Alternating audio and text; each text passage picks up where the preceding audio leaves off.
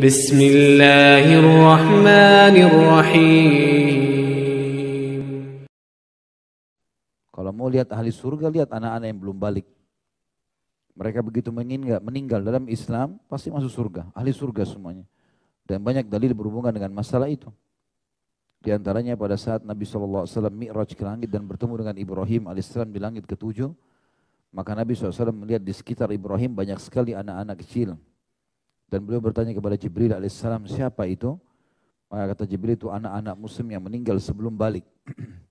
Mereka dibawa naungan Ibrahim alaihissalam secara langsung ruhnya. Allahu alam kegiatannya apa, tapi yang jelas mereka sudah pasti masuk ke dalam surga. Dan juga disebutkan dalam hadis yang lain kalau Nabi Shallallahu Alaihi Wasallam bersabda nanti akan terdengar gemuruh suara di depan surga. Lalu Allah dengan kemahasempurnaannya dan dia tahu sebenarnya suara apa itu bertanya kepada para malaikatnya. Suara apakah itu? Maka mereka berkata itu suara anak-anak muslim yang meninggal sebelum balik. Karena mereka dapat jaminan surga, maka mereka minta agar kedua orang tua mereka ikut bersama mereka. Maka Allah pun dengan kemahasempurnaannya berfirman, masukkanlah orang tua-orang tua mereka bersama mereka. Maka itu jaminan. Dan juga Nabi SAW dalam hadis yang sahih pernah meramas baju seorang sahabat dengan keras. Sampai akhirnya sahabat ini kaget dan kata Nabi SAW, demi zat yang jiwaku dalam genggamannya, seseorang di antara kalian bila memiliki anak yang meninggal sebelum balik, kecuali pasti dia akan memegang pada hari kiamat badan orang tuanya sebagaimana saya meramas bajumu sekarang sampai Allah memasukkan mereka semua ke dalam surga. Dan juga sabda Nabi SAW dalam hadis Bukhari kepada para wanita pada saat mengkhususkan ceramah untuk mereka di Madinah, para sahabiat ridwanullahi alaihinna, alaihinna maka Nabi SAW mengatakan tidak ada seorang pun dari kalian yang meninggal anaknya sebelum balik. Ya, umur tiga, uh, jumlahnya tiga kecuali dijamin baginya surga.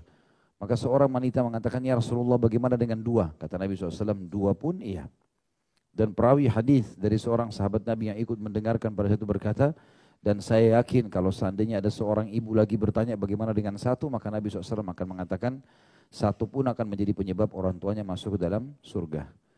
Tentu jaminan-jaminan yang didapatkan bagi orang tua seperti ini dan siapa saja muslim yang dapat jaminan surga akan didapatkan kalau tidak ada pembatal keimanan dan keislaman yang dia lakukan. Jadi misalnya ada orang mengejar fadilah mendapatkan istana di surga atau masuk surga misalnya. Siapa yang membaca kulallah ahad 10 kali dalam sehari, Allah akan bangunkan baginya istana di surga. Siapa yang menjaga 12 rakaat sehari semalam, Allah akan bangunkan istana di surga.